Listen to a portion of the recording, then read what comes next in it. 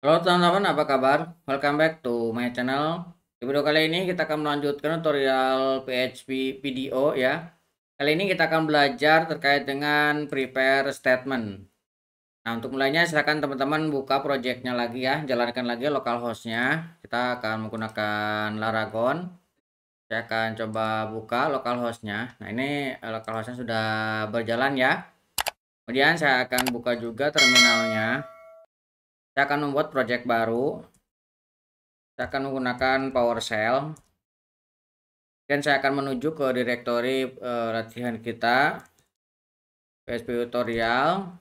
Saya akan list dulu. Nah saya akan membuat direktori 58 terkait kita akan buat direktori berarti 59 terkait dengan uh, prepare prepare statement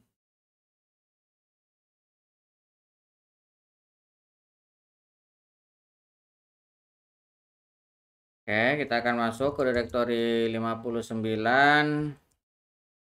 prepare statement. Kita akan clear screen.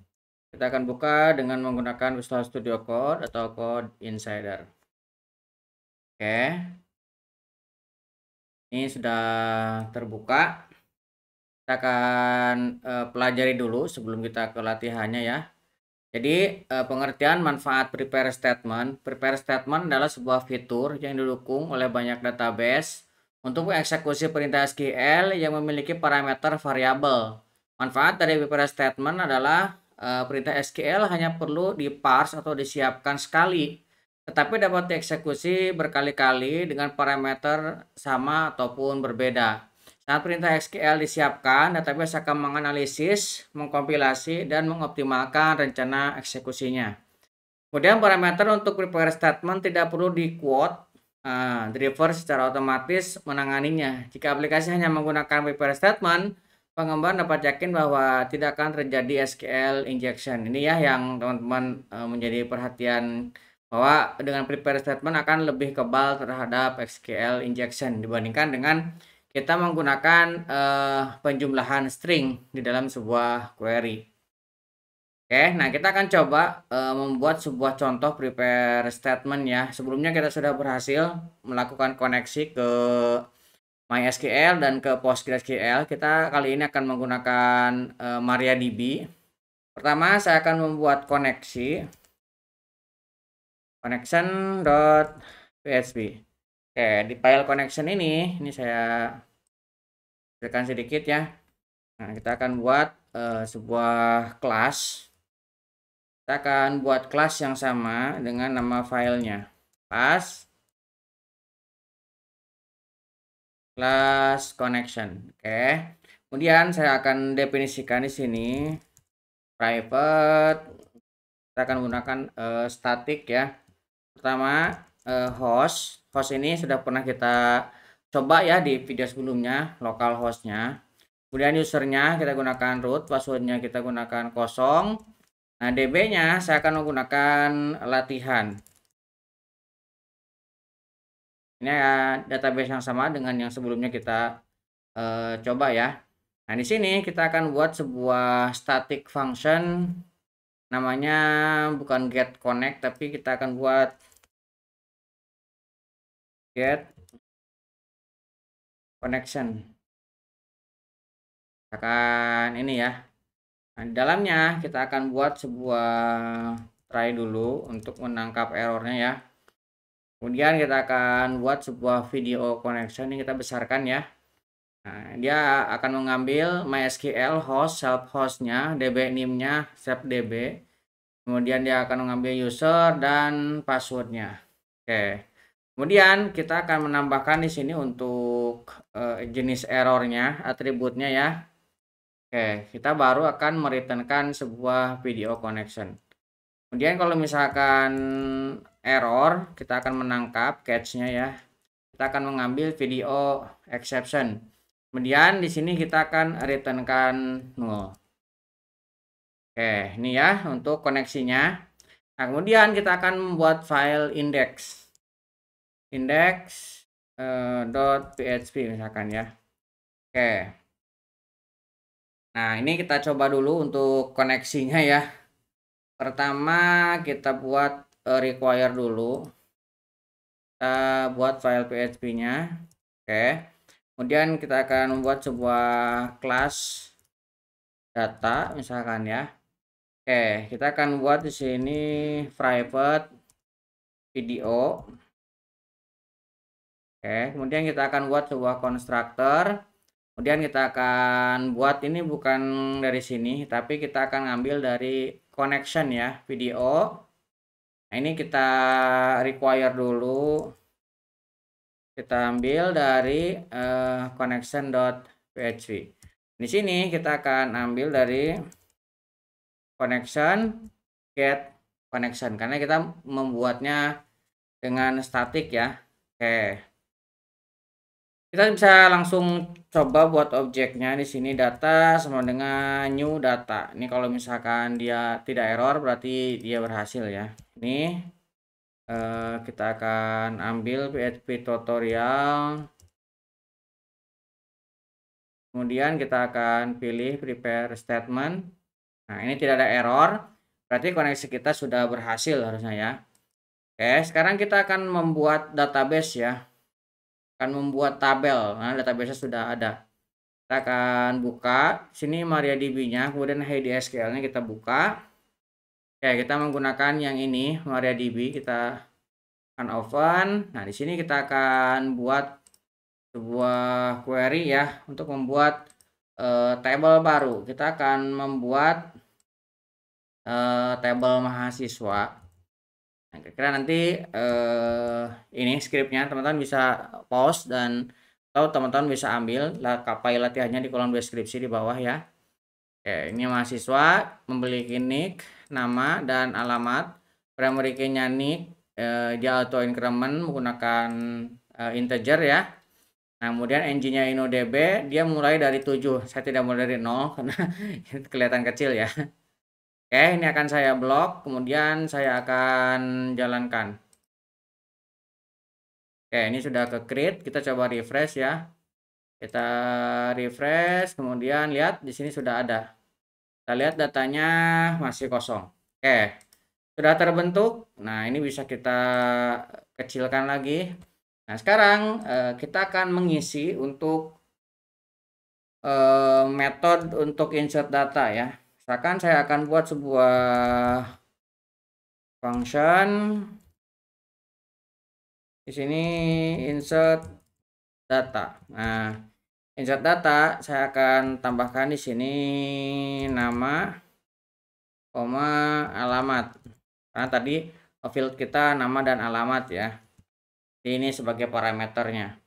Nah di sini kita akan buat sebuah insert into mahasiswa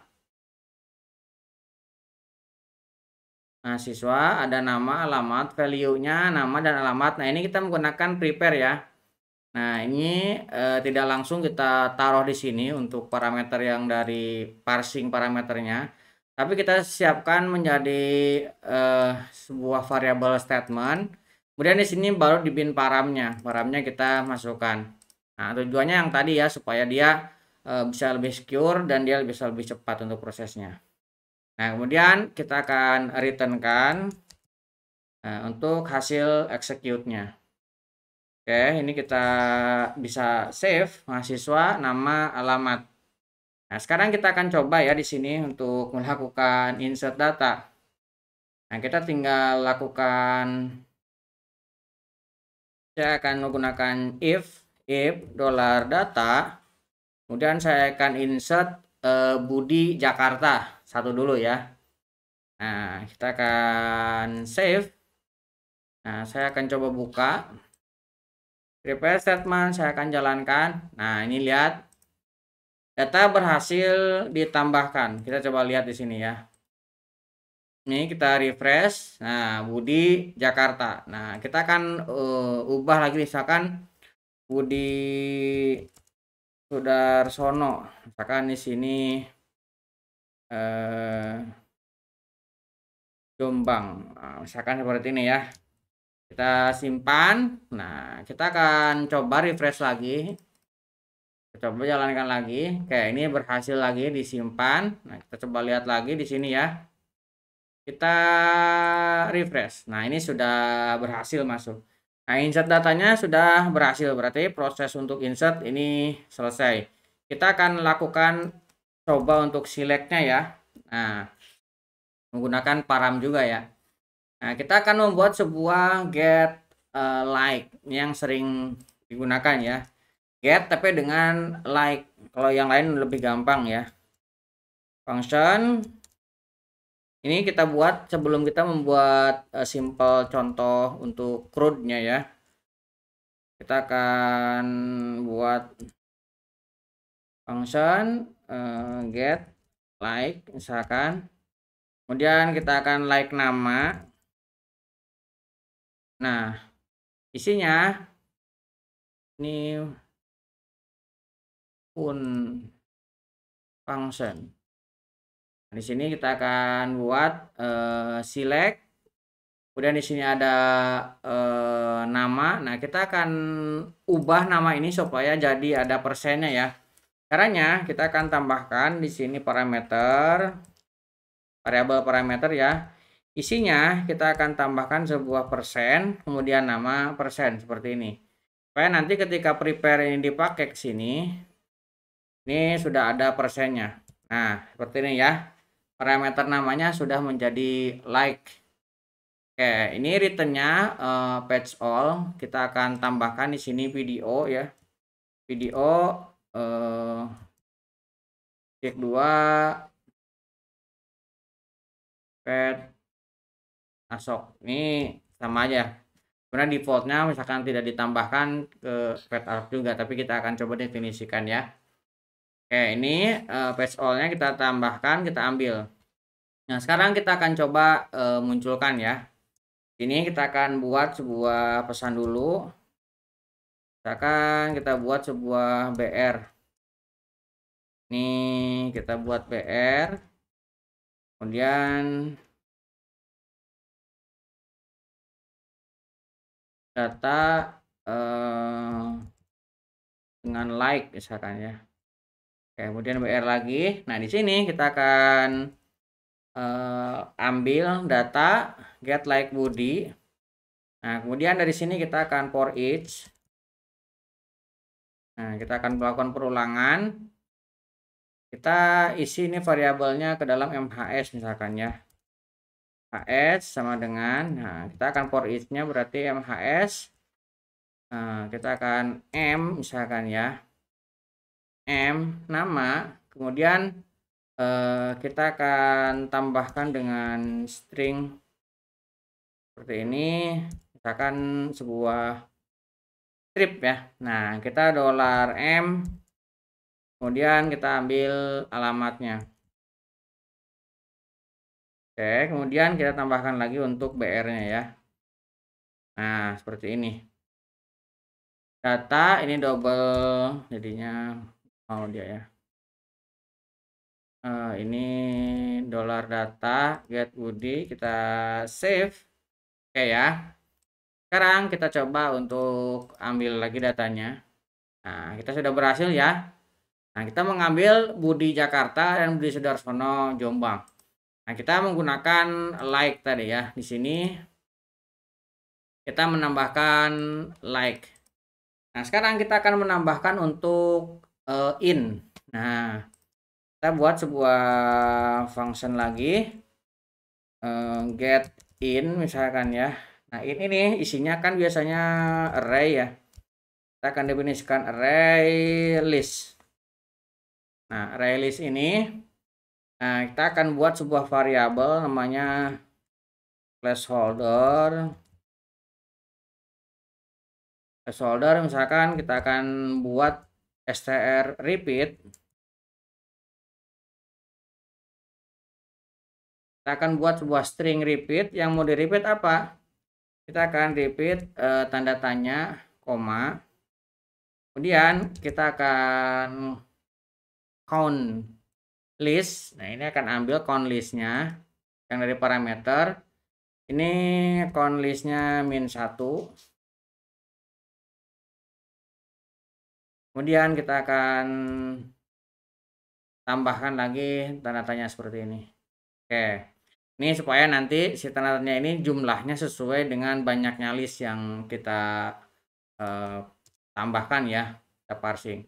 Nah, baru di sini kita akan tambahkan in placeholder. Seperti ini ya. Nah, kemudian di sini kita akan prepare, kemudian uh, kita masukkan execute listnya ya. Nah, kemudian kita akan uh, returnkan patch video asok. Oke, ini kita save.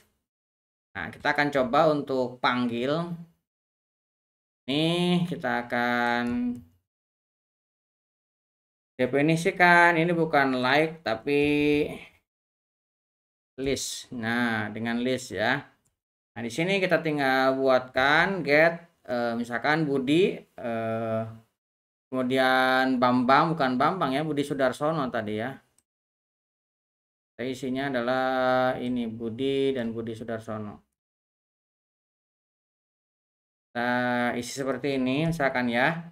Nah, di sini kita bisa lakukan for each, kemudian kita isi lagi seperti ini. Oke ya. Nah, sekarang kita akan buka lagi. Ini kita buka. Oke, kita juga berhasil mendapatkannya. Nah, kita menambahkan prepare dengan like seperti ini.